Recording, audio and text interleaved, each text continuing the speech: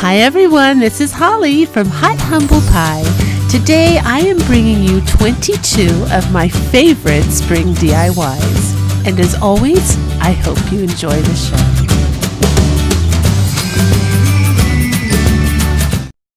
And if you haven't yet subscribed to my channel, I'd love it if you click that button.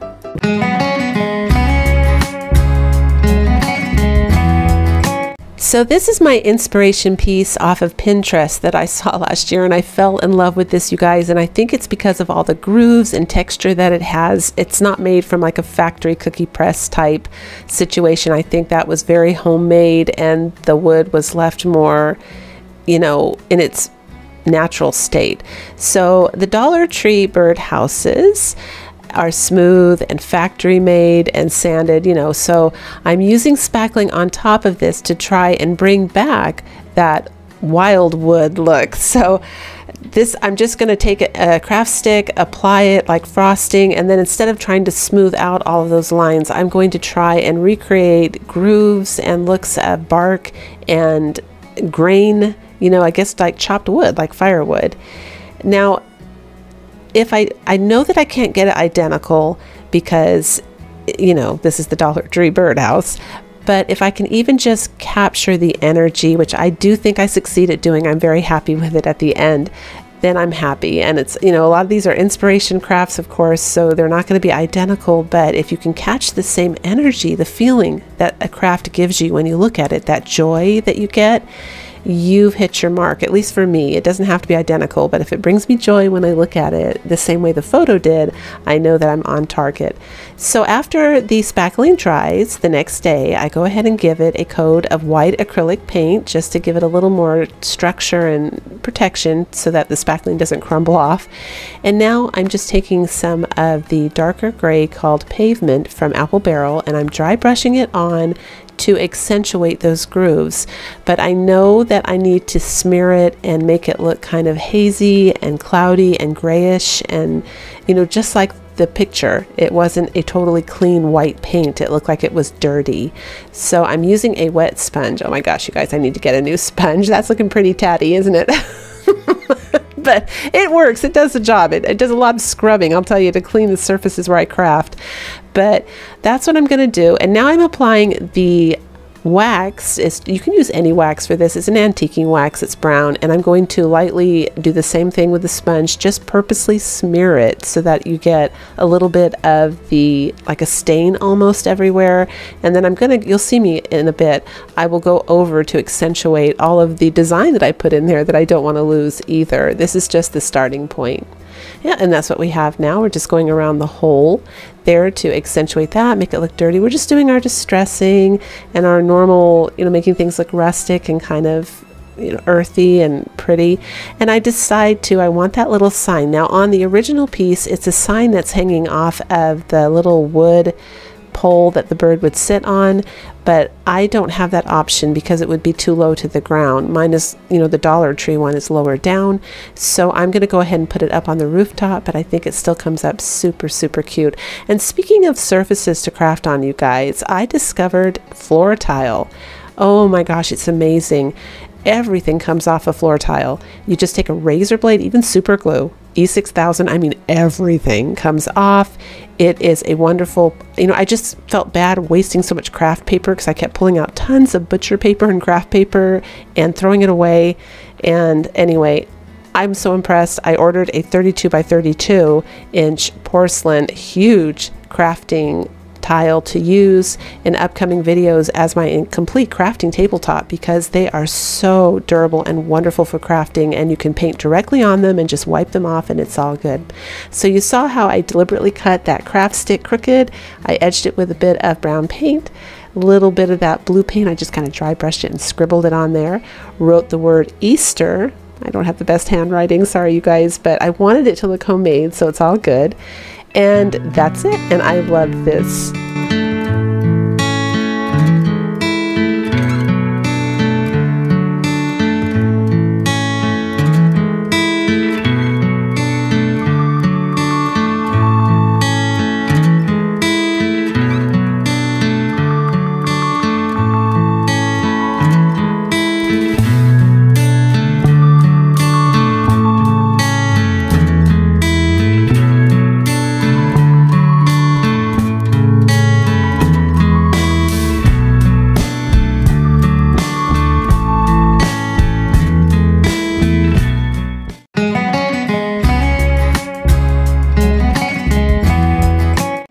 This little guy is just the classic Dollar Tree uh, Easter item that you find at most Dollar Trees, and I know there's somebody out there pulling their hair out because he's never come to their Dollar Tree.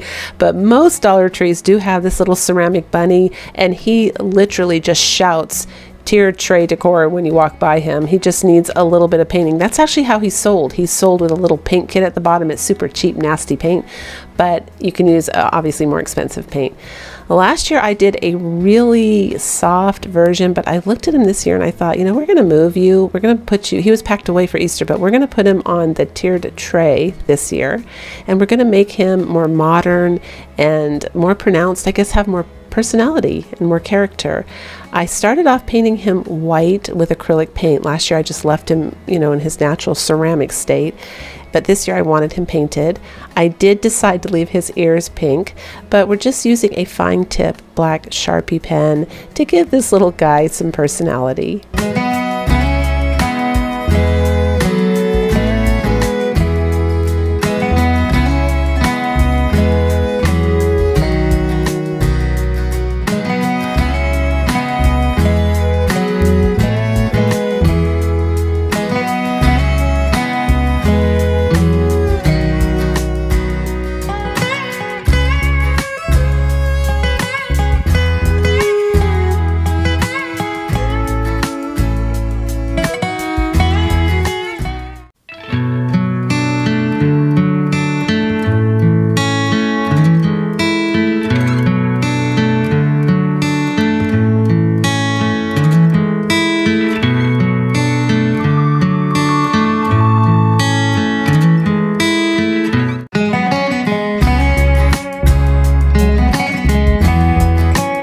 This DIY, you're going to need one of these little wooden square pictures and three carrots from the Dollar Tree. This is some little oh, vine that I got at Hobby Lobby. It's like a eight foot wrapped vine, I think, of little tiny mini leaves, and I thought it would be perfect for mini crafts, so I snatched that up.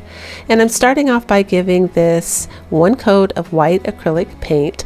I don't have a lot of white, but honestly, it is a very beautiful farmhouse look, and I don't have a lot of it, and I think it's especially appropriate for Easter time. So I was really looking forward to getting white paint happy here and slapping white paint on everything because it's a very, you know, it's springtime, so it's a nice, light, bright, clean look. Now, I decided to pull out the I don't know, the raffia that comes out of those carrots because it's kind of cheap and nasty.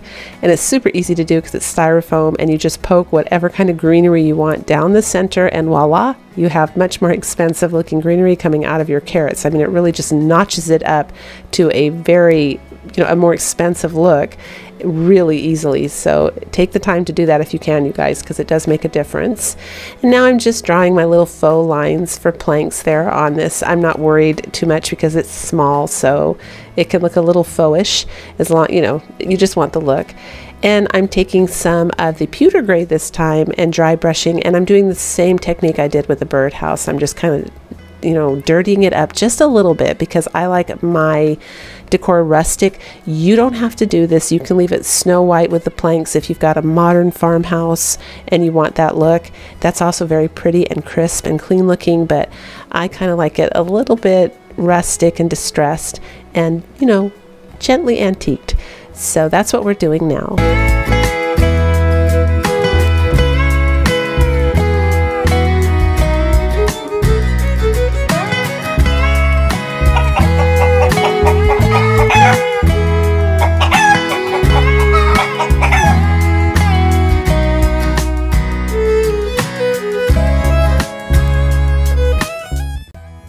And now I'm just gluing on the carrots. You can certainly stop here because this is definitely a less is more craft. I mean, it looks good just as is. You don't have to go any farther. But when I lifted it up and I was kind of checking it out, I thought, you know, there I am. I'm doing it right there. I want to make a little mini sign for this one too. So see how I'm cutting and I'm deliberately going at angles and kind of turning my scissors there. I'm trying to make a little mini farmhouse sign for this because I thought that would just be so, so cute and it's going to say rabbit eats free. because I knew when I moved my tier tray down to my kitchen and I decorate everything, I want to sit that little white ceramic bunny next to this sign. And I just thought that was such a cute message. It's like everyone else has to pay for the, you know, carrots, but the rabbit eats free. So anyway, you can leave this out if you want. I just thought it added so much cuteness to this craft.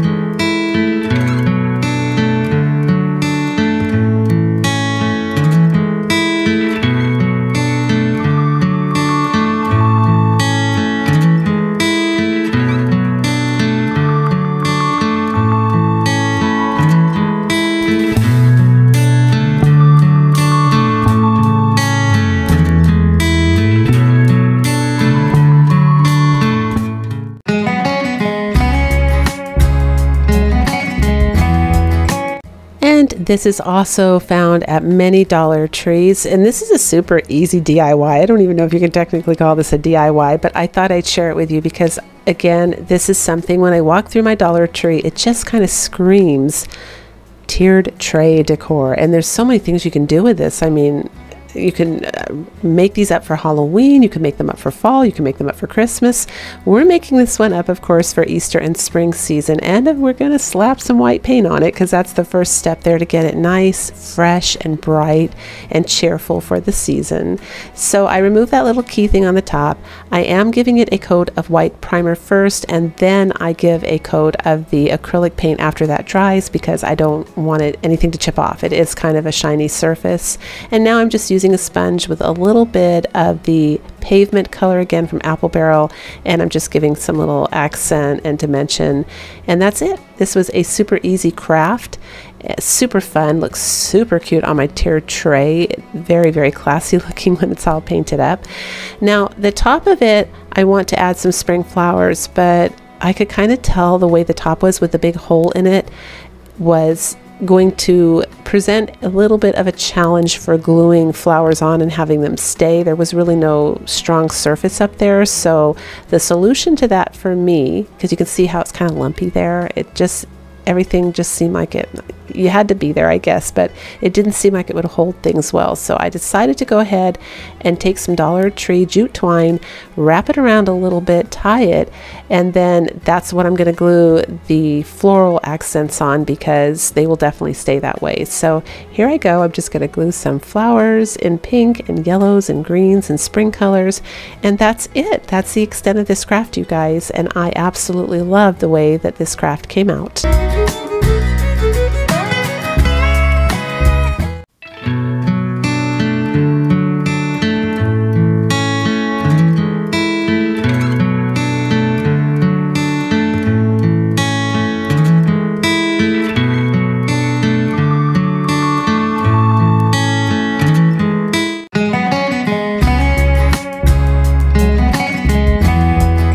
For this craft, you're going to need some of these wood tags and some printouts of your choice. Now, these are free printables. They will be down below in my description box.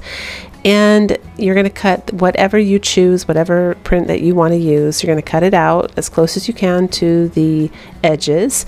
And I'm going to use my glue stick because I've mentioned in previous videos, for those of you that have been watching, that this works really, really well for pretty much a guarantee for no wrinkles and no mess ups. And so, especially when you're dealing with little tiny petite crafts, you really want something that you know for sure is going to stick. And if, it, if you're wondering if it's sticky, you can see there I'm showing you it's actually sticking to my finger and I'm scared I'm going to tear it. It's a very sticky glue and you get eight to a package for a dollar. You can't beat that.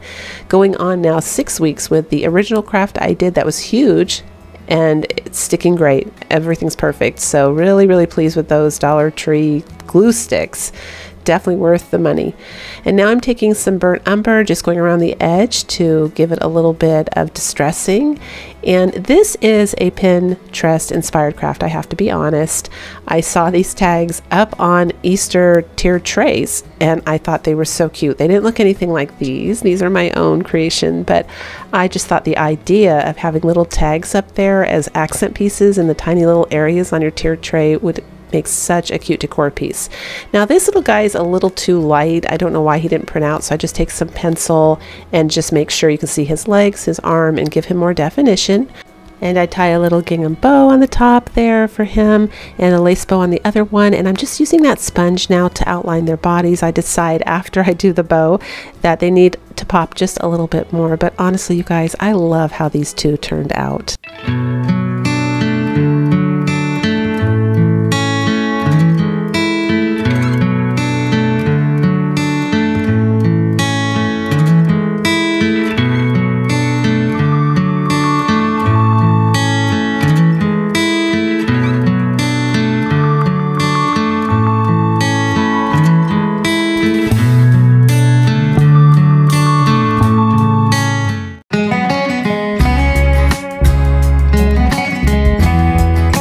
For this next craft, you're going to need some Dollar Tree wood beads, these little white buckets found in the wedding section, and these sticker letters from the Dollar Tree. So for those of you that were wondering, what do I do with these obnoxiously loud wooden beads?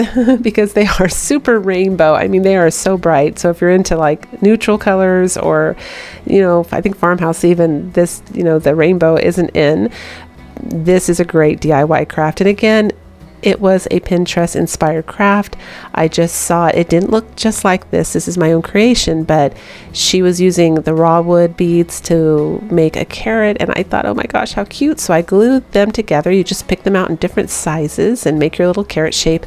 And cuticle clippers. Oh my gosh, those are turning out to be a wonderful craft supply, you guys, for snipping off extra hot glue that's hanging over the edge where you don't want it to be seen. Wonderful tool. I use it all the time and I just wanted to mention that in case you guys haven't thought of it. And here in my supply, I have the green twine. I don't know where I got it from. I've had it for years, but it's finally come in handy now for this because I'm going to use this for the top of the carrots. And I'm making a tassel very thin and I'm also tying the bottom of it closer to the top because I don't want too big of a bulge at the bottom there and that's what you end up with.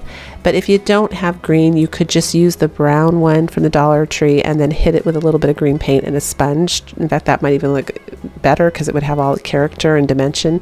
But you can make it work. And this is what we end up with you guys. It's super cute. So now we need a little place for these carrots to go, and that's going to be the bucket. But I'm really into the little signs this year for Easter. I just think it's so, so cute. I'm in a cutesy mood. So we're making the sign carrots for 25 cents. And this burlap here is also found at the Dollar Tree. It's in their birthday section. They're burlap banners. They're usually sold all year round, at least at my Dollar Tree they are. And they are great for crafts if you just want to grab some burlap real quick without having to go into another store and, you know, cut yardage and pay for it you know it's or order it online really quick way to get some crafting burlap just for little crafts and i'm using the reindeer moss I'm going to sit these guys down into this bucket and this is just a super cute DIY for Easter eh, for a little tiered tray. I love this.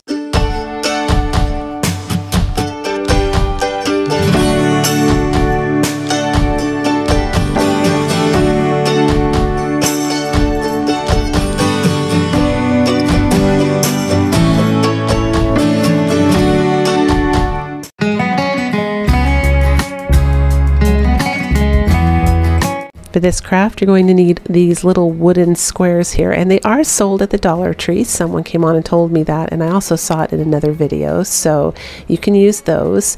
This is from my lovely subscriber that has sent me tons of crafts, and I do incorporate them whenever I can. I can't always say it because I don't want to drive everybody crazy by saying all the time, but I'm so grateful to her, and you know who you are. Thank you so much. These little roses there, I made those from the same recipe that I used to make wooden beads in my DIY wooden bead video. If you want to know about that video, go check it out. I'll leave the link in the description box. But I had some left and I rolled it up and made roses for spring. And then this is a sign that is a free printable. It will be down below my description box. And here's where I get really annoyed, you guys. My camera battery ran out while I was filming how, you know, I just glued it on, but I made the frame using hot glue. And I'm showing you now really slowly because you can figure it out what I did. I just went and put lines going down and created like a faux wood grain. This only works on really small petite signs. It just gives it character and some um, 3D effect for frames. I wouldn't. I tried on a bigger sign once and it just looked not not not good. But for little signs like this, it's a fun, quick, cheap way to get a frame on it.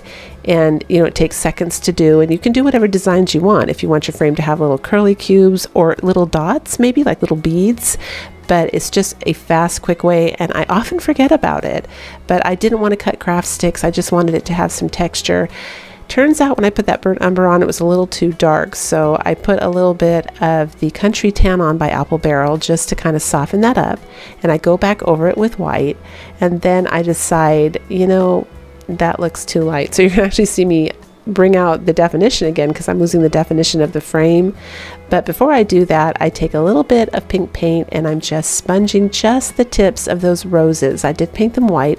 A lot of people ask me if they can paint those beads. You can with acrylic paint. I've never used any other kind of paint, so I can't vouch. I've never colored them. Well, actually, I did use some um, iron oxides once. They're dry powders, and that colored them, but the colors were so pastel that I wasn't happy with the outcome. So I always end up painting them with acrylic paint. Now I'm just adding a little burnt umber back into the frame there to give it some dimension, and I also hit the roses a little bit to distress them and antique them. Those roses are what make this craft. I don't know if the camera's going to do it justice, but they just are so gorgeous, the 3D effect. And I just think they look so pretty at the top. But this is what we end up with when we're all done.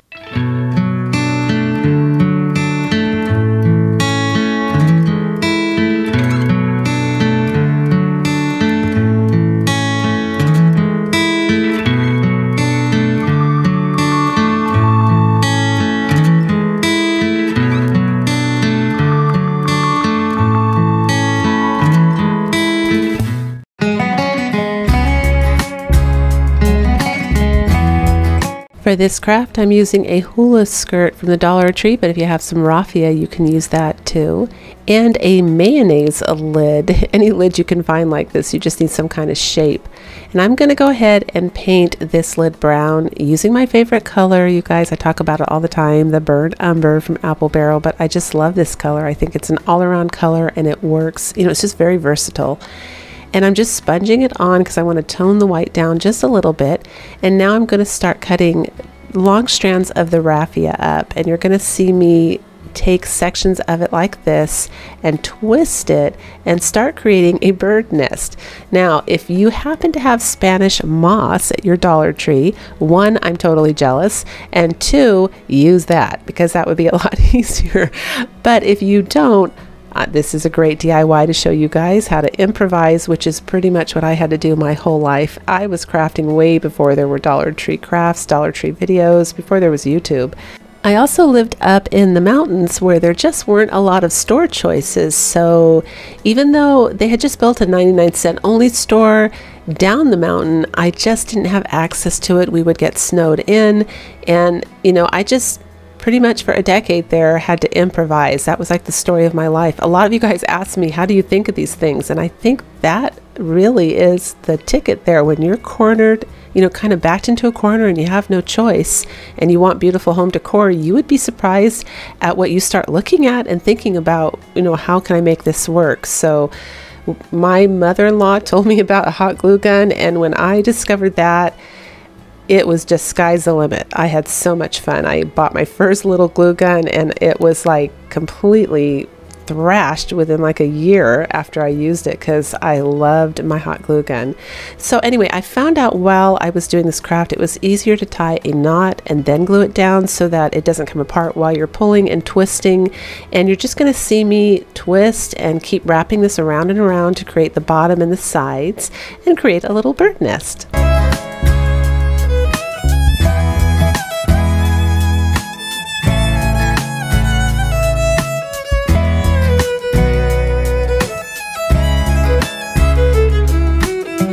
When you finally get to this point there, it's a it's a good start. It's a good frame, but I wanted it to have that look You know, it kind of has that. I, I still, I was after that Spanish moss look, so I took this straw.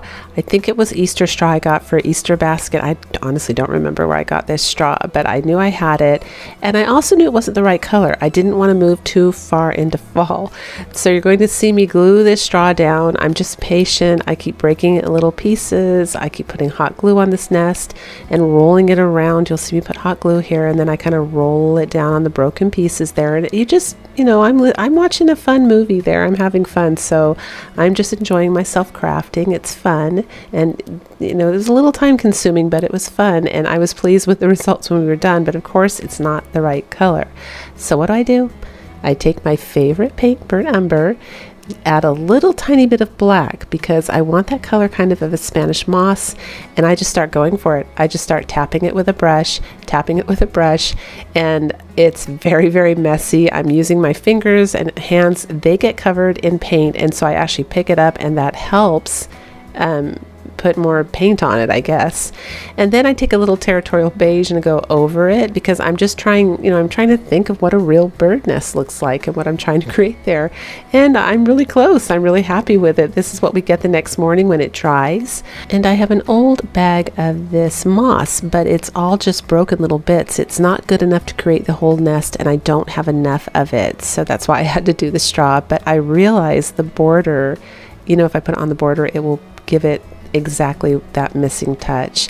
And it works really, really well. Look at this, you guys. We have a nest. And I love this. All we do is add some eggs and we're good to go.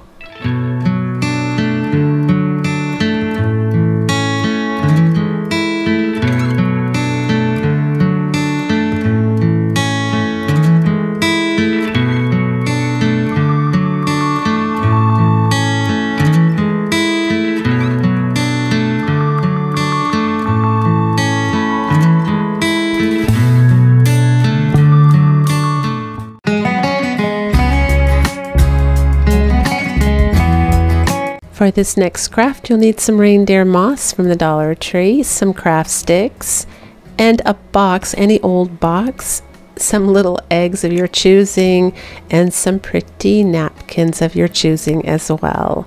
And last but not least, these are the cheap, nasty eggs I got at the Dollar Tree last year before they were selling the carton ones that they probably still, they probably have the Easter stuff out now at my Dollar Tree. But to be honest, I had so many good ideas ready to go and I had enough craft supplies, I didn't even go check.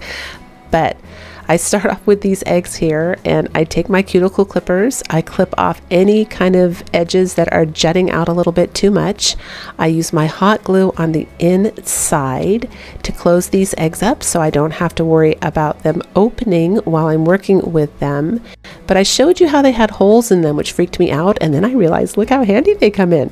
I'm going to take these outside and spray paint and I use some, some foam that I got from a package that was mailed to me, some skewer sticks. I poke those little babies up into the holes on the eggs, take them outside, spray paint, and everything's great. So I'm just using Mod Podge with a little bit of water here, and I'm going to start to apply those flowered napkins. Next, I'm taking a color I mixed up with a little bit of blue and gray to create the egg colors. I want to do, you know, they're very on trend right now, the brown and blue eggs. I want to create those, and I happen to love the way these Dollar Tree foam eggs look when you paint them, the rough texture. I think they are so, so pretty. So everything that I just did with the eggs now is drying and I decide, of course, we need a little wooden crate, like a little farmhouse crate to stick all these pretty things in on the tiered tray. You know, I just, I didn't want to put them on grass.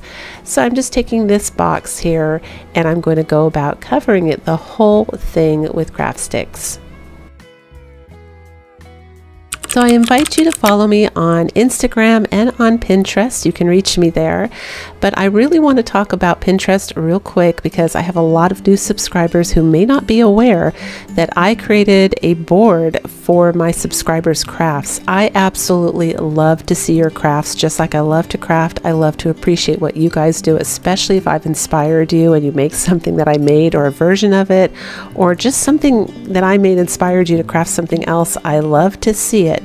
And a lot of people ask me, you know, how do I share my photo with you? So you go to Pinterest, you create an account, and you upload your photo as a pin. And over there on Pinterest, you can private message people. So you just send your pin to me in the email, and I will get it and then share it to that board with your name. And we have some absolutely fabulous crafts. I mean, the page is huge now since I started. So I just wanted to create a place where we can also share your creativity with the world. And when I put it up on my Pinterest, it kind of helps get it out there so the whole world can enjoy your gift too. So make sure you send me your crafts, you guys. I love to see them. I am getting a lot of email now, so I'm kind of falling behind. I'm doing the best I can. If I don't get back to you right away, please don't get hurt or offended. I will get back to you as soon as I can. Just leave it sitting there because I go through my emails when I can and I love to see your crafts. So please go check out that you know what we have so far over there on Pinterest. Go check out everybody's crafts. We've got some very talented people and some absolutely beautiful crafts up there.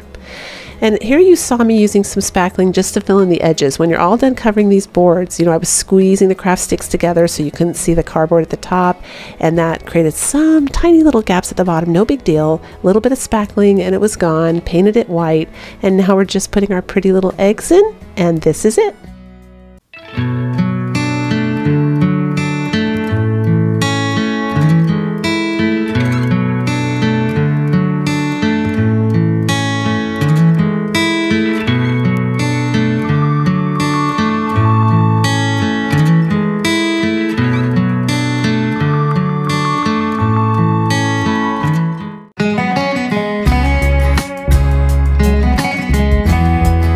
For this craft, you'll need this free printable, which is also down below in my description box. And I'm using the like layer of white napkin that was left over after I peeled them apart. You know how those printed napkins have two layers to them?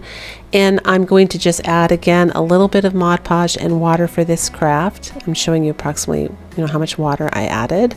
Mix it up really, really well because I have kind of an, a vision with this craft. I saw some eggs on Pottery Barn just laying on a table. It was like staged with another craft, but I wasn't looking at the main craft. I was looking at the eggs going, ooh, what are those? Those are cool looking. They almost looked like they had like wrinkles in them and they had a bunch of texture and dimension and really primitive and rustic looking. I really liked it. So I had an idea and it turned out really good, but this is how I go about doing my egg. Their eggs might have been wood, I'm not sure. But my eggs are going to be Mod Podged and decoupaged with napkins. So I'm putting layers and layers of torn napkin on here and I'm kind of using my fingers on purpose to squeeze and wiggle the napkin and press to make sure that it gets lines and textures in it. I don't want it smooth and I'm tapping with the sponge to get that effect. And then I cut out, you know, I didn't cut all of them out, but I chose my favorites off of those stickers. They're all beautiful. Actually, I had a really hard time choosing, but these are the three that I chose. And I'm going to Mod Podge those on the front as well. And this is what we have the next day. Now I decide to paint these snow white because I have a very, very specific look that I want. I mean, you could leave them I had a little bit of shadow under there because I had decoupaged some of the roses on there by accident on one of the edges. And so I had to paint this guy. And then I thought, ooh, that looks really good. And you know what else it did? The paint's thick, so it made the bunnies actually kind of sit back and become level with the surface of the egg. They didn't look like they were I don't know if that makes sense, but the napkin was thinner and the paper was thicker. And once I painted them, they were all the same level, which looked really, really nice. So now I'm taking a little territorial beige and I'm just going to dry brush them. That's it. And then take some burnt umber, go around and give them a little frame. But I'm going for the French country look. I absolutely love French country. It kind of crosses over to shabby chic a little bit, but especially around Easter time, I am such a sucker for that. But I have to make it tie in with the rest of my farmhouse decor. And these eggs worked perfectly for my tiered tray. I absolutely love them. I always ask you guys to pick a favorite. And some of you were saying, I don't want to pick a if you like them all, oh my gosh, I love you. you can tell me you love all my DIYs. I love to hear that. But if you have some favorites, I'd love to hear that too. I just love to hear feedback from you guys. I love you guys so much. Thank you for your support and your love. I appreciate it more than I can say. So now I'm taking some Dollar Tree rounds right there and I'm just gluing them on. Those are their little stands and platforms, and we're all done.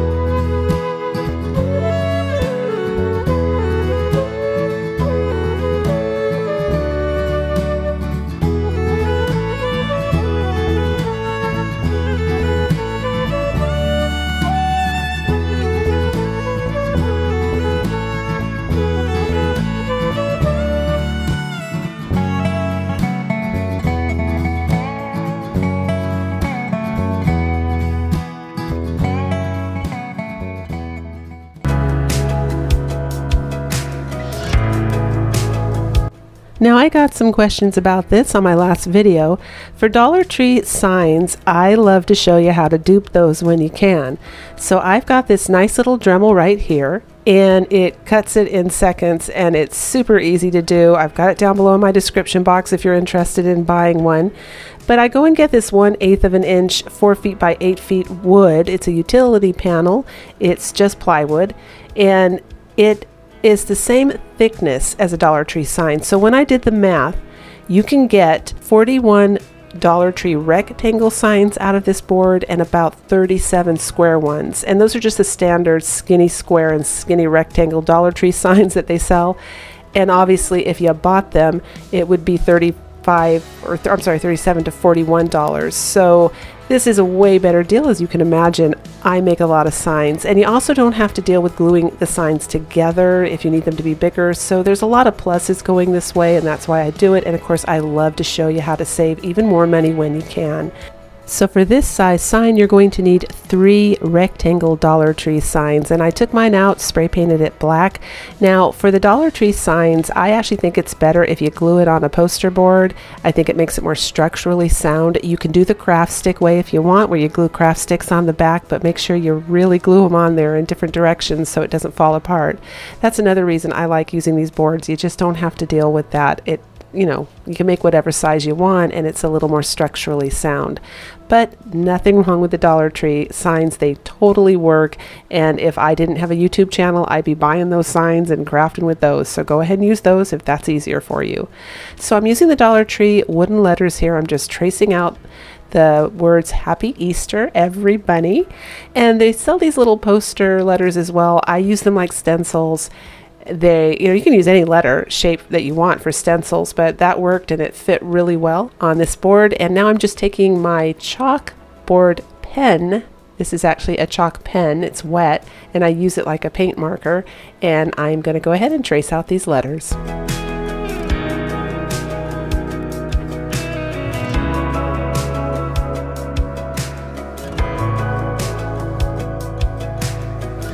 So I love my chalk pens so much, but for filling in, they're not so great. They don't tend to have the vibrancy, and you end up having to do two or three coats, and it gets way, way too expensive. So I like painting. I find it very therapeutic and relaxing, and I'm using a paint called Craft Smart here. I absolutely love that paint. It is an ultra matte dry. It is only $14.99 for 64 fluid ounces, and as you can see, it covers in one coat. This is a new paint for me. I bought it on a whim really, really happy. I'm not sponsored by them. I just think it's a really nice paint and worth the money. And I think it might, I mean, when you hold the Waverly chalk paint in white next to this, it looks identical. So I think it might be more cost effective. And if you can't find a chalk paint that you're looking for, this would be an option that you could look into. So I'm going to go ahead and fill these letters in as you can see. And then I'm going to go ahead and put some twine on the top of this sign. Now I should mention this was a Pinterest inspired craft. I saw saw this I think last year, and I thought it was so cute. I took a screenshot, so I'm trying to copy it. I can't find my screenshot. I'm going by memory, but I do a little dry brushing to add a little distressing on the front there. And then I'm going to clothes peg these Dollar Tree carrots on the top of this twine. Now I used the bigger clothes pegs, but my carrots were kind of shooting up like torpedoes, so that didn't work too well. Make sure you get the tiny little mini clothes pegs. And I decided to add a bunny. Now it just felt like it was missing something. I can't remember if the one I saw had it or not, but I just took some paper, held it up to my computer screen, traced out a bunny shape, cut it out, and then I drew it in the center here. Now, instead of coloring it in solid, you know, painting it solid in the uh, bunny, I decide it will look better just with kind of a scribble. I don't know if there's a name for that technique, but I didn't want to fill it in all the way, but I love the way this came out. Let me know what you think.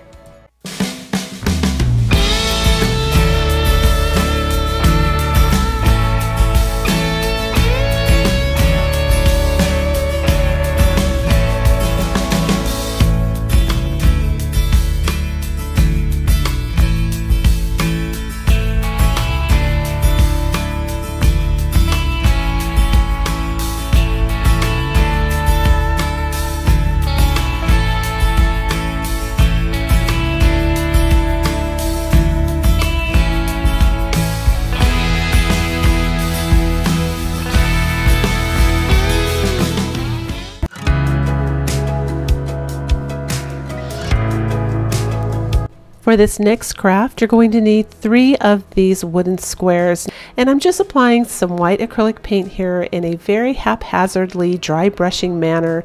I want the edges of this to stick out because I want the wood to show. And I don't want it to be a really heavy coverage in the middle as well. I just kind of want to shadow this almost with a little bit of white. There it is right there, almost like a cloudy look. That's what I'm going for. And now I have this print. Now I own this print and I took a picture of it and printed it online and cropped it. But if you look up watercolor rabbits, or I'm sorry, watercolor Easter bunnies, beautiful, beautiful imagery comes up, including this one. So you can actually buy this one if you want or use it or whatever you want. It's up to you. Now we're going back to the glue stick here because it's it's a, just an easy way to get paper on without it wrinkling. I am applying it to the paper this time and I'm being really thorough about getting it all around the edges on every single part of that surface because I don't want these guys to lift.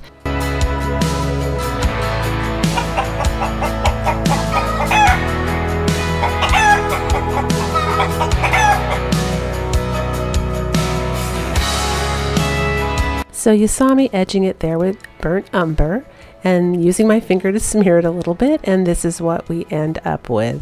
Now I'm going to use some craft sticks from the Dollar Tree. You can use any size that you want and I'm going to connect them in a vertical way. Now it, I can't give you exact measurements here because if you want to connect it going horizontal, you'll probably do it a bit different. You can use ribbon as well. That would be really pretty and you may want them farther apart, closer together. But what I wanted to point out here is when you use wood glue and hot glue, never mix the two glues together or you will deactivate the hot glue. I see a lot of people do this and then their craft, they'll go, oh, it, it fell apart. And and so I just want to let you know, I don't know what goes on there, but maybe it cools the hot glue too quick before you can get it to do its job because the hot glue really is just a tacking method to get it to stay instantly. And then that wood glue is what's going to dry and make a more permanent stronghold. So I just wanted to let you guys know, be careful to put those in different sections on your crafts. Don't mix them. And here I'm using two rows here of the Dollar Tree twine to make a back for this. I'm going to go ahead and cover these edges with some uh, masking tape just so they hold a little bit stronger because that's all you need. This isn't a very heavy craft at all but I really, really love the way this came out, you guys. I was going for a Beatrice Potter feeling rustic Easter craft, and I love this.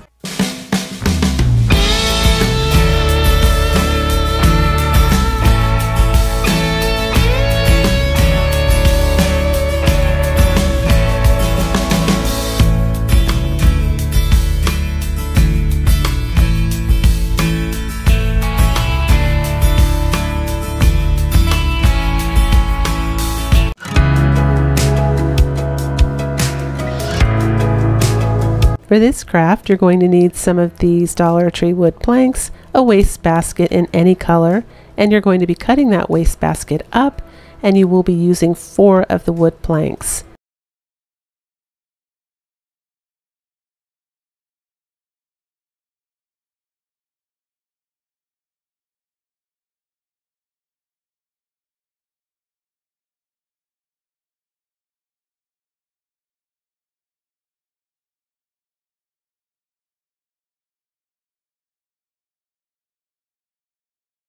I'm starting off using some wood glue with a little drop of hot glue, but it's not really strong enough to hold these. So, you know, you're challenged a little bit initially because they're so thin and you just have to move really slow. So what you do is you use a little masking tape there to hold it together. You're going to see when I turn it around, I'm really, really gentle, but it does stay up and it stays up so that I can put the top on. So we're making kind of like a little window box here. And again, I'm not mixing the hot glue with the wood glue. I'm just putting a little bit of wood glue on the edge there because that's what's going to hold it really strong. The hot glue is literally just to give me an instant hold so the whole thing doesn't fall apart.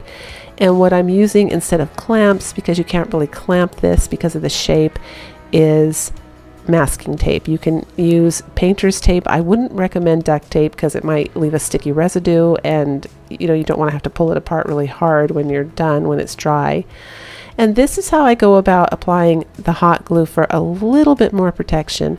I'm doing a thin ribbon then I'm going to take my 100% silicone spatula that I got at the Dollar Tree. You can get these at Walmart, also on Amazon. There's a link below in my description box if you're curious and I'm just rubbing that down to make it nice and small because I am planning on staining this. Now this is the next day after drying overnight. I'm going to remove the masking tape and I'm going to go about staining it. I'm using my burnt umber mix with a little drop of black paint and that's approximately how much water I put into that much paint and it makes a great stain for wood. I did have to put it on twice. So I put it on, kind of dabbed it off so it didn't get too wet, and then I put it on again and we got this color right here. So I'm taking the waste basket that I cut up from another craft that I did in the fall. This is a great dupe for chicken wire, you guys. I'm sure you've seen it before. I did take my hands and stretch it out as much as I could in either direction. And I just marked it with a permanent marker, as you saw. And we're going to glue it on the back of this little box here. We're making like a, I don't know if it's a window box really because I'm putting the back with the chicken wire, but make sure you trim the edges of the wire so that it's nice and flush with the surface of the wood. That way you won't get scratched or poked when you pick up your craft and it looks nice and tidy that way. I'm just using some wire clippers I got at Walmart and here's the problem when you have glue in the corner of things, the stain just doesn't soak into the wood like it should. Easy fix, just use a little black paint. You'll cover it. It's a great camouflage and it works great. So I have a white wastebasket and I'm using the apple barrel paint in pewter gray to paint that gray initially. And now I'm going to use this folk art shimmering silver shiny um, I forget, iridescence I think iridescent paint to make it look like metal. So if I had gotten the black waste basket, I don't think they had any when I was shopping, I would probably just use the iridescent paint on that. That would be fine, but I needed some gray there. So two steps for me. Now I decide to take the nutmeg color by Apple Barrel and just add a little bit of rust. And you can't really see it here, but you'll see it at the end in the final reveal how good that rust looks. It really adds so much charm because I wanted it to look antiqued and distressed and it just comes up beautiful. Here's a bird I got at the 99 cent store for 99 cents. We're going to be giving him a little bit of a makeover here because I want him to be to have a certain look here. I guess this, you know, this craft could also be a French country craft for those of you that are fans of French country, but I just give him a coat of my white acrylic paint, one coat, and now I'm taking, yes, that's a blush brush. I actually got that from Five and Under. It used to be a mermaid tail, but I cut it off. And I dabbed him with a bit of pewter gray. It was a bit too dark, so I took some more white paint, went over the pewter gray, and then I decided to use some black paint because I definitely wanted him to have some chips and look nice and antiqued. So now I'm using some school glue on cardboard. I love to do this. That way I can glue the reindeer moss down, also from the Dollar Tree, and I can change this out for seasons. If you don't have a ceramic bird, just use the white little birds they sell at the Dollar Tree in the floral sections. That would look just as cute. And this is what we have. I'm going to put the birdie in there, a little bit of greenery, and set it up, and it makes an absolutely beautiful spring decor piece.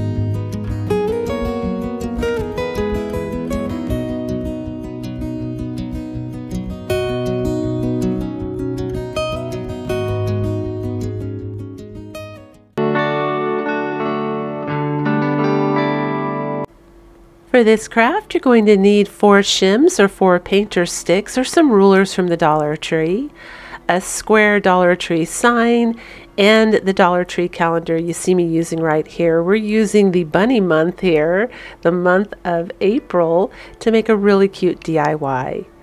So I'm really pleased with the results I've been getting with the glue sticks and at the Dollar Tree you can get six for a dollar so even if you use one for the entire project it's worth it. I didn't. I, I think I used maybe one eighth of the stick there but I'm just not getting any wrinkles at all now. Thank you to those of you that came on. There were quite a few of you and told me about an iron-on method for Mod Podge. I'm going to try that and the upcoming DIYs here. That definitely sounds like a winner.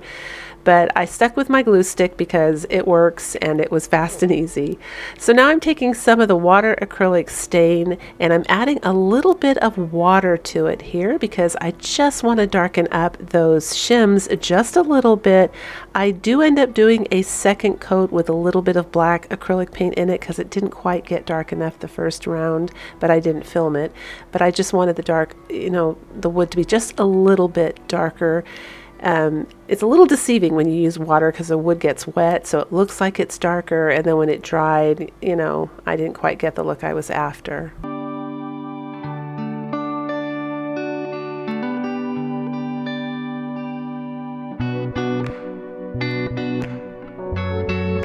And here's the color we end up with after we add a little black paint. And I'm just using a pencil here to mark off where I want to cut the shims. Now the neat thing when you work with shims is that they are a graduated angle and the ends on one end are really thin, about three inches up. You can cut them with regular old scissors, which makes it really nice and easy to craft with. You don't have to get any power tools or a saw. Now I'm taking some wood glue here. I purposely put it on the end that's going to hit the wood because the raw wood to the raw wood with a wood glue is going to hold super strong. And then I'm using the hot glue up towards where the paper is so that I get an instant hold. And we're just going to make a frame for this cute picture.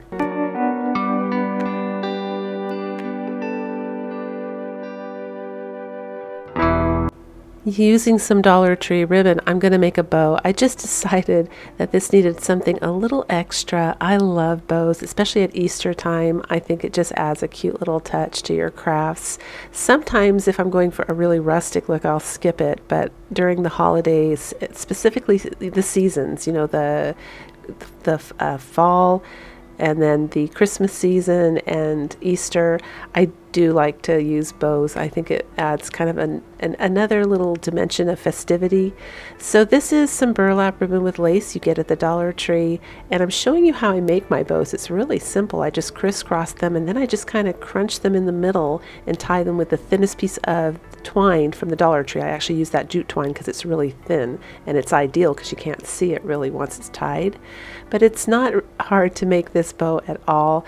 It's all just adjusting you know, I'm squishing it down and looking and kind of, I keep moving the folds in different angles till I get the look that I want in the front.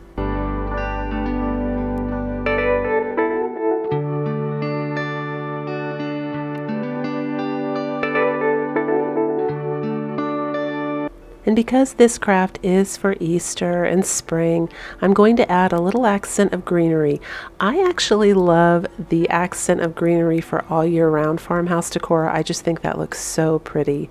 This is boxwood from Walmart. If you see that, it usually comes out at springtime, sometimes a little sooner, and goes through the summer. Snatch it up because it's a great deal. There's a lot on there. I think it ends up being cheaper and more cost effective for accent anyway than the uh, Dollar Tree uh, florals do just because you can cut so many little pieces off. Now here I'm doing something different. I decide to add lace to the back to hold this up and I'm putting some masking tape on the edge here. Now usually I put it on, the glue's still hot and the masking tape kind of melts into the glue and it really helps create a stronger hold. I've done this for years, but I'm going all the way down the edge here so that when you hold the sign, it feels a little more comfortable for your hands because the edges were a little rough even though I sanded them and I didn't want any splinters. But this is what we end up with and I love this.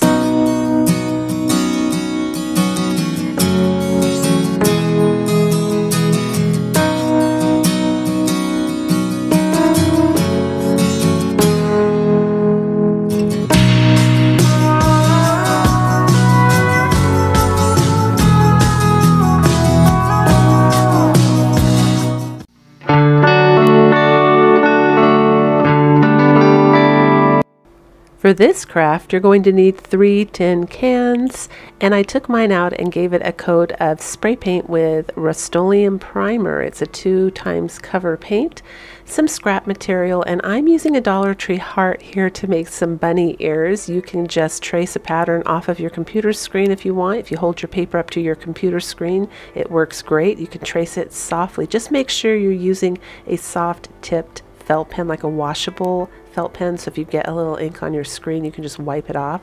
Although, to be honest, I have used a permanent marker before and that comes up just fine with rubbing alcohol. So it's not anything really scary if you do happen to notice you get some ink on your screen if you're tracing. And I'm using the scrap material. This is an old shirt that had a lot of holes in. It's actually one of my husband's favorite shirts, but it was beyond repair. So it ended up becoming one of my craft supply items now. And we're just going to trace out and make a set of three bunny ears.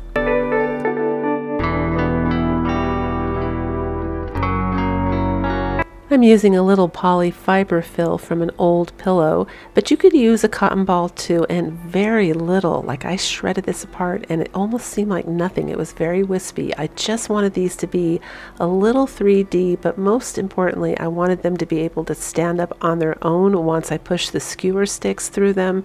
So that was how I did it. If you guys want to put wire in the ear, I mean, there's obviously different methods. You could starch the material however you want to do it. I just thought that this would look super cute cute if they were just a little 3D.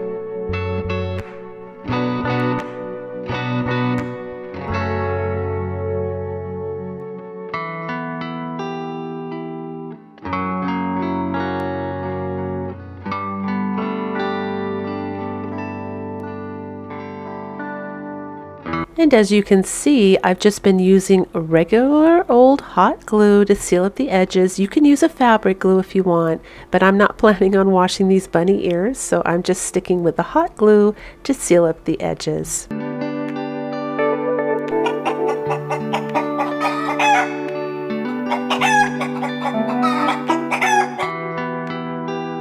And there's our three pairs of cute little bunny ears.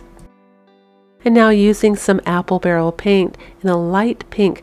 I actually took a pink and white paint and mixed it up. This is a custom color here, but I just wanted to add a little bit of the Easter color because I knew I was going to be taking the color Country Tan also by Apple Barrel, and just going around the edges of the ears a little bit there just to make them look a little bit more rustic and give them some definition. These are some poster stickers, also from the Dollar Tree. At first, I was going to make all three of these cans with little bunny faces and different kinds of faces, I guess. So that's another idea for you if you want to do that. But then I thought, you know what? This would also be super cute if I just did a reverse stencil on these cans and then made it say hop with the bunny in the middle here. So I took the H and the P, they stick down really easy, and now I'm just using some burnt umber paint. I'm going to go around and create some shadow. Now the burnt umber is going to be a little too dark, so you're going to see me take some white paint over it and just kind of smear it a little with my finger and make it, I mean, there's no rhyme or reason for this. This really is a very rustic, very farmhouse look. I'm just kind of creating almost like a dirty look, and I'm deliberately smearing out this stain to make the cloud kind of disappear and feather out on the edges. If you're new to my channel, I do recommend that you do hold on to your cans and any jars that are like mason jars or a nice shape mayonnaise jars. I do craft with them a lot in my crafts. I think they naturally lend themselves to a farmhouse rustic look. They look good in other looks too, depending on how you decorate them, but do hold on to those things. So I'm taking some of these little sticker beads that you find at the Dollar Tree and I'm going to go ahead and apply them with a little bit of hot glue. They weren't quite sticky enough to make some eyes eyes and I paint those eyes black and then I decide to add a little dimension with some white acrylic paint in the front just by randomly brushing on white here and there just to make the bunny part look a little bit brighter.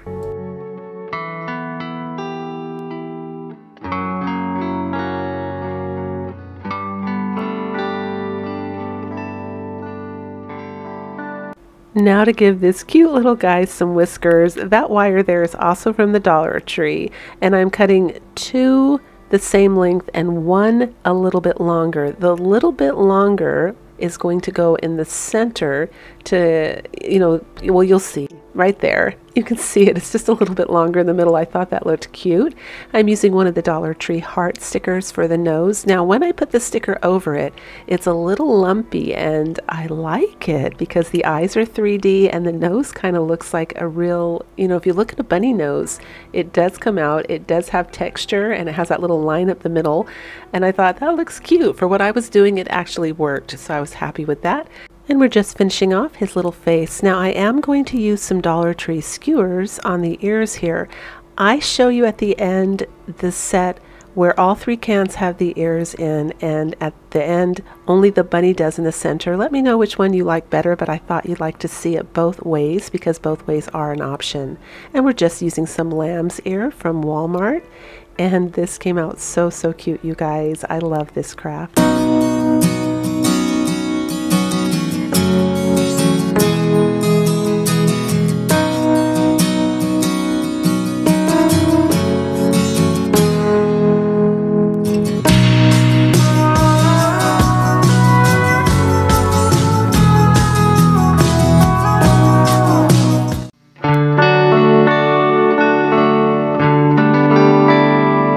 For this craft, you're going to need a candlestick. Mine's from the Dollar Tree. You can find these usually at thrift stores as well, and a little glass globe. Again, you don't necessarily need a Dollar Tree for this.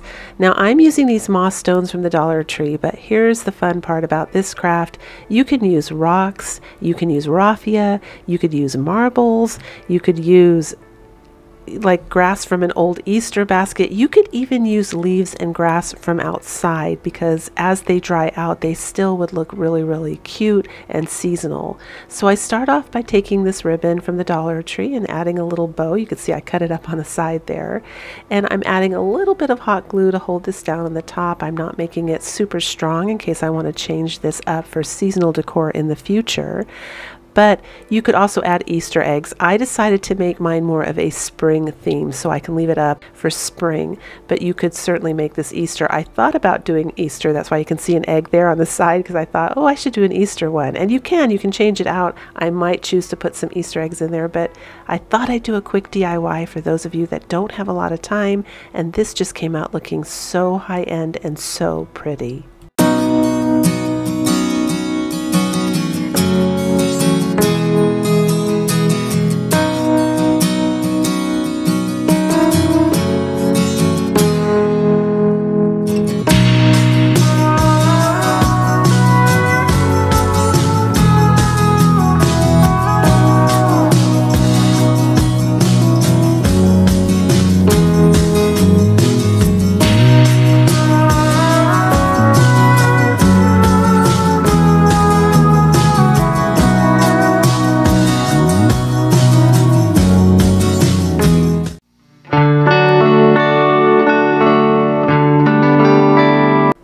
This next craft, you're going to go ahead and need a cardboard box and a pool noodle from the Dollar Tree. Now, if you don't have pool noodles, that's fine. You're just going to have to cut out about four frames of cardboard to get the thickness that you need and that would work too. So the first thing I do is I use a template that I got off of online. I trace my computer screen and I made an egg shape and then I'm going to take that egg shape in about a half inch and cut it out. You're to see what I do here. I'm to cut out the middle and then I'm to pop that middle out.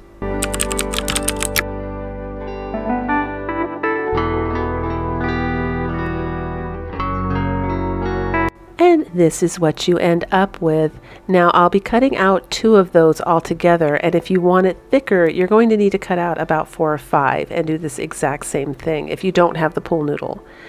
And I'm going to be cutting just one of these up the middle and make sure it is the middle you guys. So take your time measuring there because it's going to need to fit together down the road here. Next I'm going to be cutting the pool noodle in half. And pool noodles are great, by the way. If, when you come across those in the Dollar Tree, please snatch them up because you can use them for so many different crafts. I had a great Christmas craft I had planned that I didn't have time to get to, and I'm going to get to it next year. But anyway, you cut the half in half again, and then you're going to cut that half in half again, and then you're going to cut that little fourth piece in half again. So I did that a total of four times.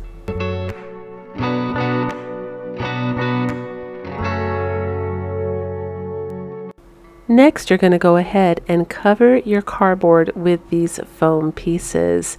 Now, you're leaving the outer edge of the pool noodle on the outer edge of the egg there and you'll be able to tell when you're doing it because the inner edge kind of has a graduated angle so that part's going to go on the inside. You want the thicker part on the outside. And of course you trim up any loose pieces and this is what you have when you're all done. You're doing it to both sides of that cardboard and you're going to do the exact same thing to the half pieces that we cut on both sides as well.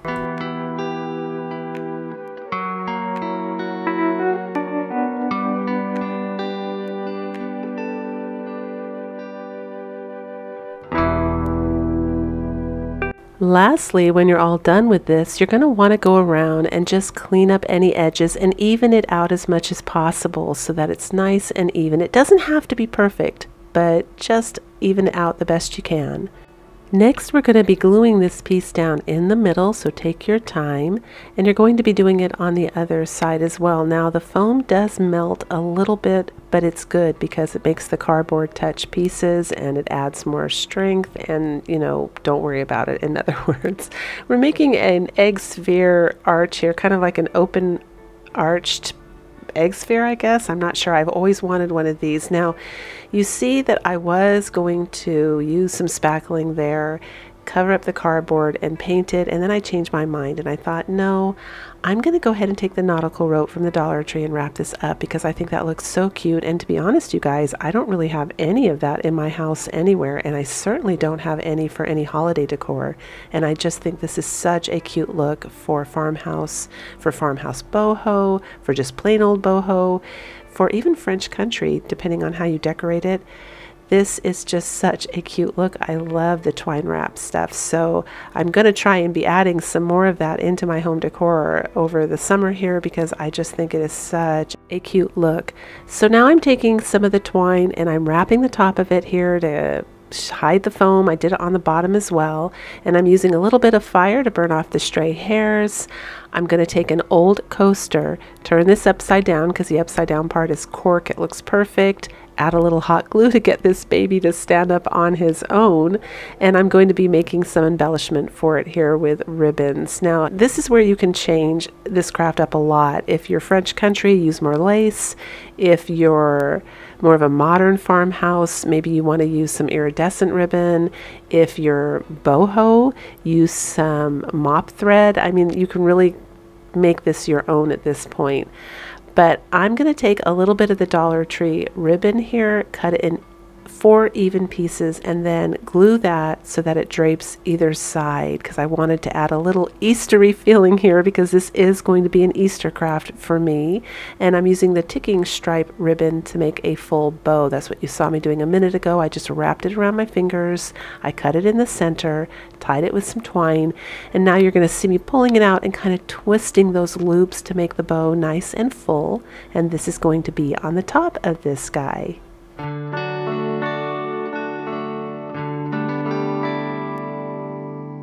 So I end up popping this cute little full bow on the top of this and I end up placing the whole thing inside a riser that I made as a Christmas DIY. If you want to know how to make that, that will be below in my description box, a link to that video.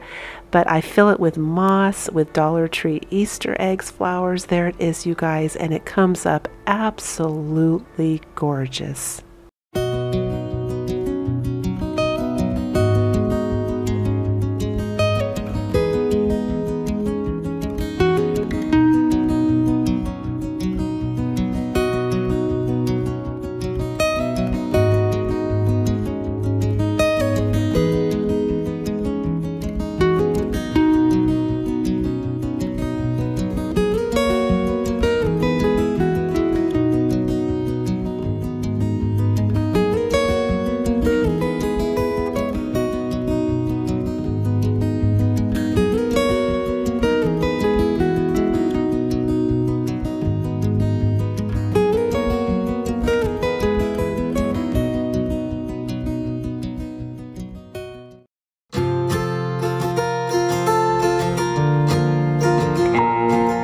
This craft, you're going to need a mop head, some cardboard, and this printable, which I will have in the description box, a square Dollar Tree sign like this, but I'm going to be using this wood here, which is an old corn crate sent to me from a lovely subscriber, Dina. Thank you, Dina.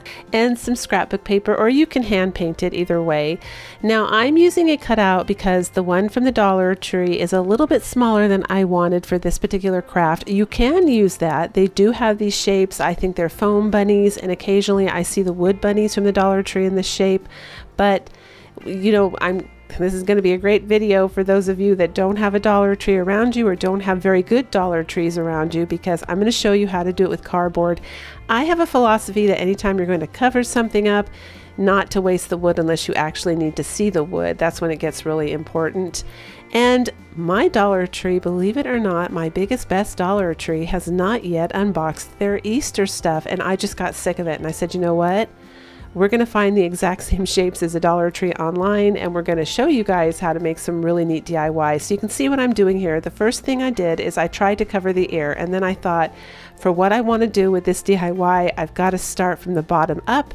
So I started putting the yarn string or the mop string at the bottom and then I trimmed it just to see if it was going to work. You don't have to do that right away. I just wanted to test it to make sure you could definitely see the shape when you were done trimming and you're going to keep adding these little mop threads you know and go slow I actually would pull out the third, like I'm holding it up right now. So picture the third mop thread from the right or the fourth one. That's where I'd make my first cut as a measurement to make sure that I didn't go too high because you want it to fall in a nice area. You know, whatever you want. If you want them to be in the middle or a little higher, but you want that thread to fall in the right area. So just take your time, cut slowly, lift three at a time or so and cut you know, hold it back, look at it, brush it a little bit, make sure that it's all straight. Now, this craft was a bit time consuming, but in my opinion, it was totally worth it because it came up so, so cute.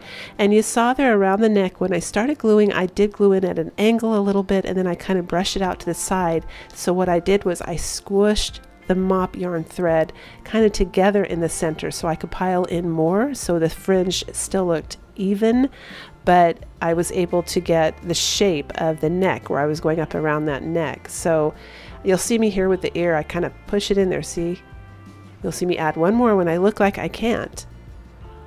I'm going to push it in. See that? I start to pile it all in and because there's so much hot glue, I just pile and press. And that's pretty much how I handled every, you know, tough corner and curve and it worked perfect. So just do it that way. And now I'm showing you how I held up three and you can see that I've cut that fourth one in already. So I have a guide and I'm going to cut like that.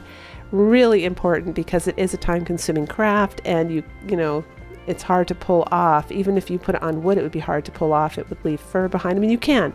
I did pull off some of the air and it worked just fine. You, you just have to kind of use your scissors and cut down. Actually, you know, you can do it, so don't panic. If, if you have to pull it off, pull it off and just go slow. Don't tear the cardboard.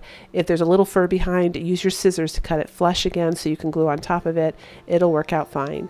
And now I'm just finishing off the top ear.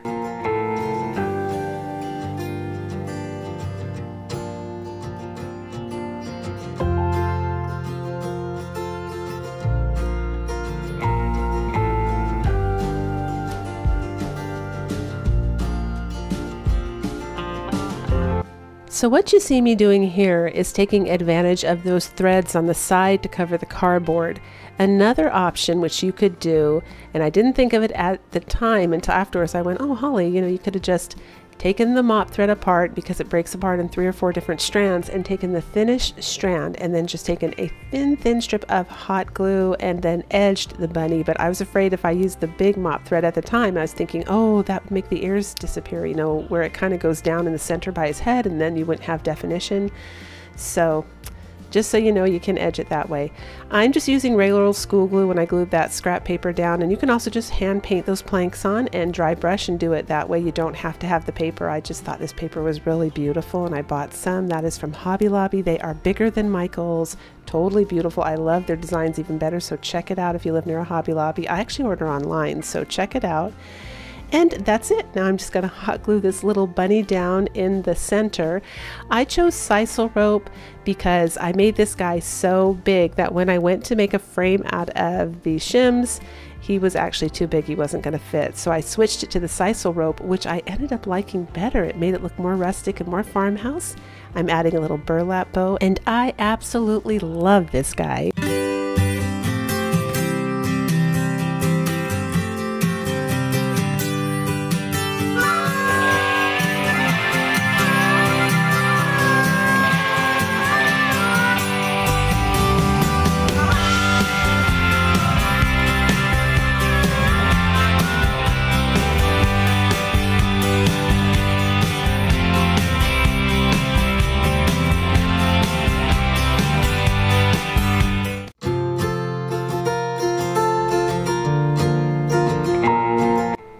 So I have this basket that I was using to hold some towels in in my bathroom and my cat decided to chew the handle on one side and I didn't want to throw it away because I love baskets especially during the Easter and springtime for farmhouse decor. If you don't have one though, this Dollar Tree plate would work just fine. You can cover both of them in this primer paint. That's what I did and this is what we end up with.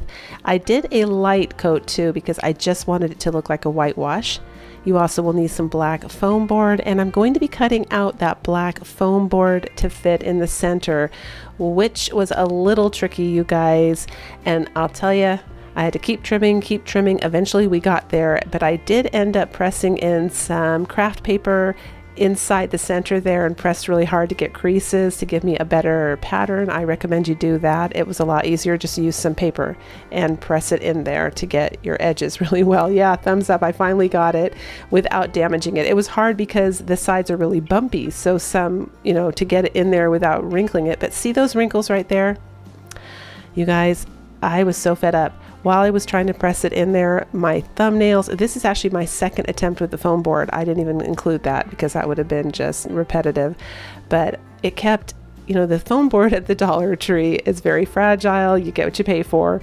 And my thumbnail kept making prints, it kept wrinkling, and I finally said, forget it. So I went and took some black poster board and used a glue stick, and I'm just going to glue it on top there to make it a little more durable so we don't get those indentations while you're working with it. Because I had already cut one out, put it in, started doing my design on it, and then my thumbnail hit it and made a big groove, and I just went, we're done we're done. We're going to do this again and we're going to go ahead and put the poster board on top and it will be a lot more fun that way because it will be a lot more durable. So I highly recommend you do that. And I'm using my sleeves here to put it down just to be sure you don't get, you know, I didn't get any glue on top of there because I didn't want any cross contamination because we're trying to get the look of a chalkboard. So I didn't want, you know, the shiny glue or a piece of glue on there. Now we end up with a nice smooth surface to work on. So I'm using this Dollar Tree sign, Happy Easter, that I got last year, and I'm going to cut the bunny off for a template here. And of course, I'm going to save that Happy Easter sign for another DIY. Isn't that cute? I think that's so cute. With or without the bunny, that is so cute. And I'm going to go ahead and trace this bunny out.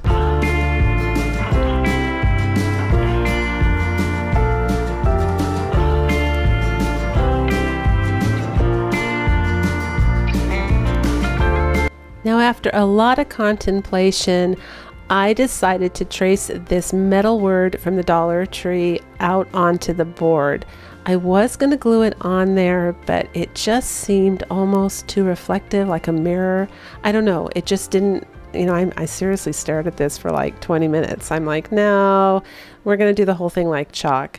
So I'm using these stencils. I believe these stencils are from Walmart and I'm just going to do some cute little vines and leaves to give it a little bit of spring feeling there because it is supposed to be just a chalkboard piece of art here.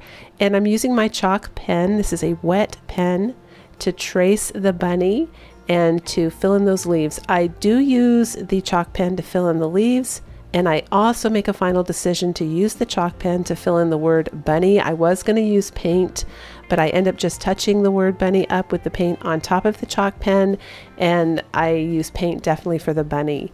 But it's just, there was something about you know, when you're, you know, it's not a real chalkboard, right? It's poster board, so it's very, very slippery, and the texture just didn't feel like it felt like the paint might almost smear and have too many streaks if I tried to do it in with the words, so I stuck with the chalk pen. Someone asked me if the chalk pen dries. Yes, it does dry to a permanent uh, state, when, especially when you put it on paper. It's not supposed to on a real chalkboard. It's supposed to be erasable, but I have read comments in Amazon where people said they left it on for a year and when they went to erase it, it left a permanent, you know, um, image behind. So I don't know if they're totally erasable if you leave it too long. But anyway, this is what we end up with, you guys. I think it's so cute. But here's my next thing. Because this was a basket, I could not get it to glue down flat because it was bumpy.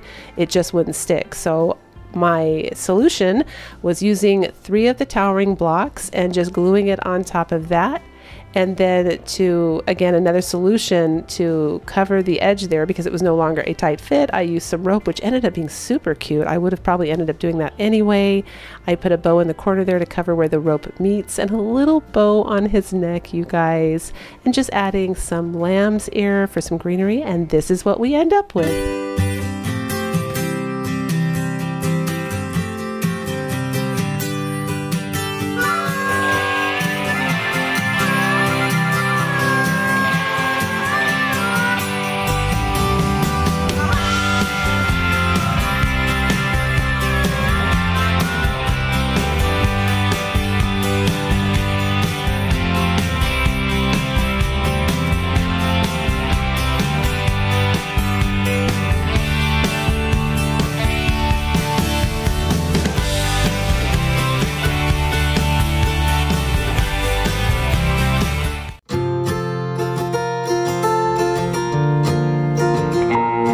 So this is a bird cage that I bought from Michaels for a wedding decor piece. It actually sits on top of like a tiered tray, really big and high. And here are some Dollar Tree stovetop covers. I sprayed the cage with this spray paint and then I sprayed the stovetop covers with the hammered. I don't know if you can say I'm not that impressed with the hammered one. I'm not sure about that. It looks good once I dress it up, but it wasn't, I thought it would look more like a, um, don't know, I just thought it would be more contrast and a little bit more noticeable, but you really can, uh, maybe I didn't shake it enough. I don't know. But we will try it again. That was my first time trying that. And now I'm just painting the knob with a little bit of primer. This is the Kilz primer, K-I-L-Z. We're to let that dry. Meanwhile, I'm using my favorite brush for like a faux rust, and I'm pointing out that it's definitely a tweaked brush. You don't want to use a brand new brush. It makes it much harder to get the effect. So when your brushes get kind of yucky and old, save them for distressing techniques because I find at least that those work the easiest. I'm using the color nutmeg from Apple Barrel Paint and I'm just going to go about giving this some antiquing and rusting it up a little bit just to make it look nice and old and distressed.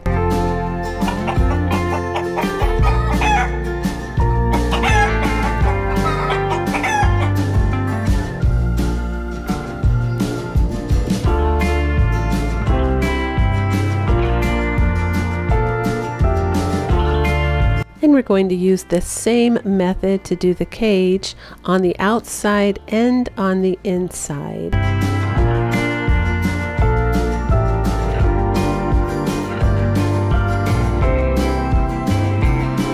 Now where the areas of metal meet and are soldered, that's where I hit it with rust for sure with a brush because in real life that is usually where things kind of tend to erode and corrode and get rusted. And now I'm going to take this water-based stain to make the knob wood. I put one coat on and then I blow dry it. For those of you that watched my Halloween video, I discovered by accident this was the best way to get a really good wood. I mean, look at that. You just put it on in layers and it looks like real wood. Look at it it looks absolutely beautiful. So I choose this method instead of the wax because it works a little bit better if you want it to look like wood, like a strong polished wood. It works a little bit better than the wax, but either one would work. So now I'm just taking some moss from Michaels and I'm using some wooden eggs from Michaels. They run about a dollar and I'm starting to decorate this. But I have been waiting to antique this one for the next DIY I'm making forever now and I think this came up so, so pretty.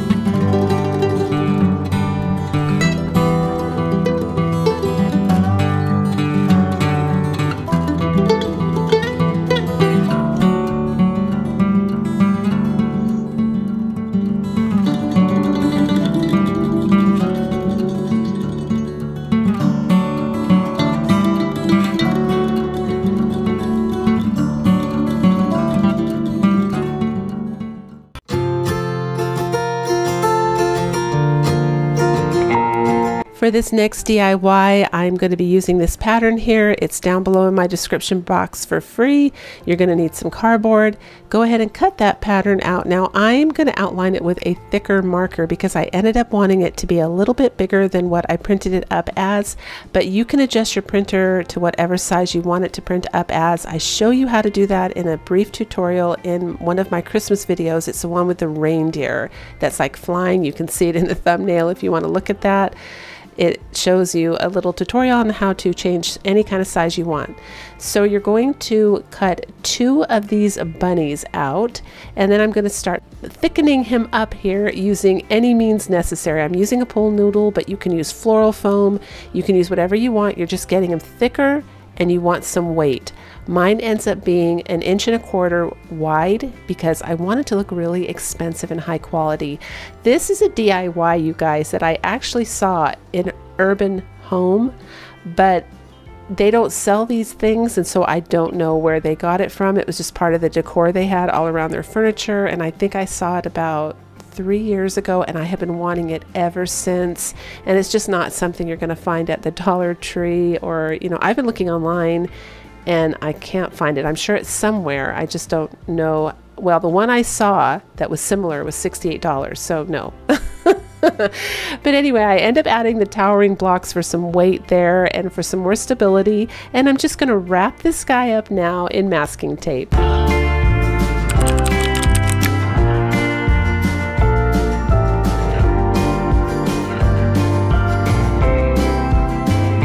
So this is what this little guy looks like when you're all done.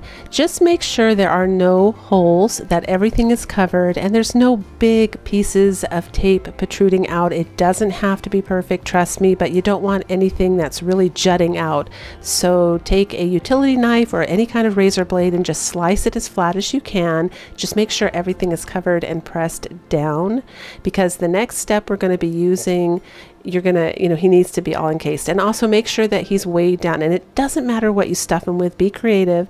But the next thing you're going to need is some pinto beans. Now, I took my pinto beans and I put them in a blender, and we end up with faux gravel. So this looks like some of that really nasty sand you get by lake fronts or beach fronts that are around cliffs that hurt your feet when you walk. I'll tell you, I had an experience, you guys, where I got caught up in a wave once, and when I came up, that kind of gravel was in every single area you can imagine. It took me forever to get out of my hair. Oh my gosh.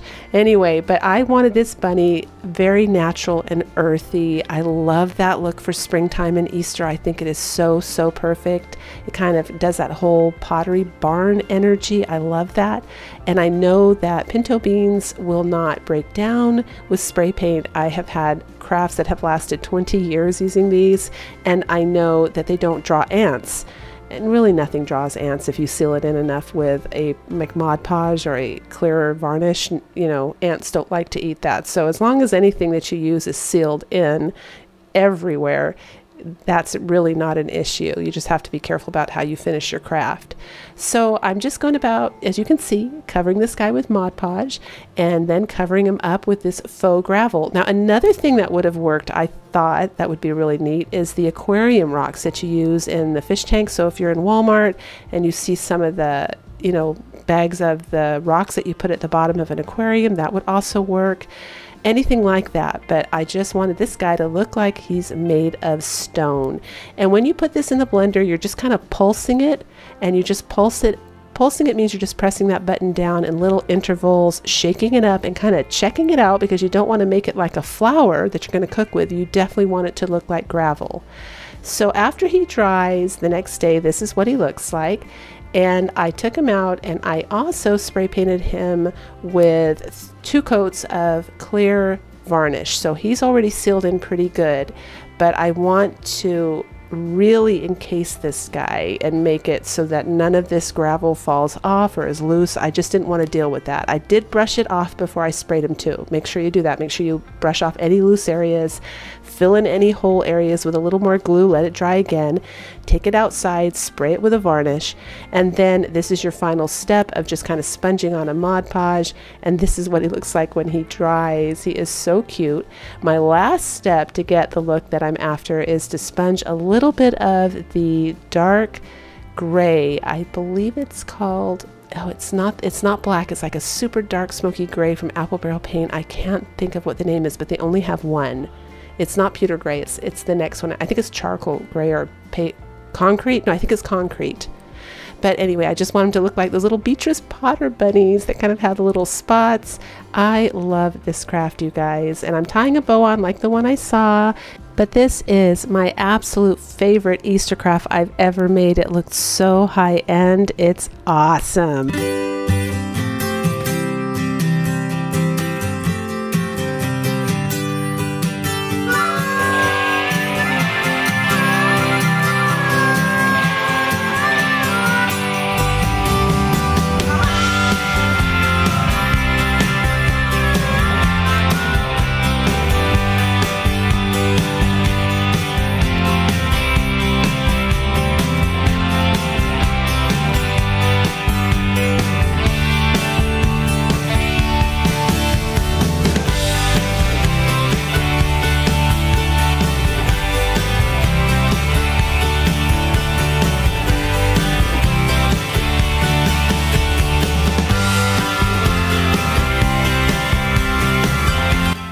Had fun today, don't forget to give me a big thumbs up. It really does help my channel. I appreciate it so, so much. Thank you, you guys. And as always, until the next video, breathe deep, fret not, and do things that make you happy.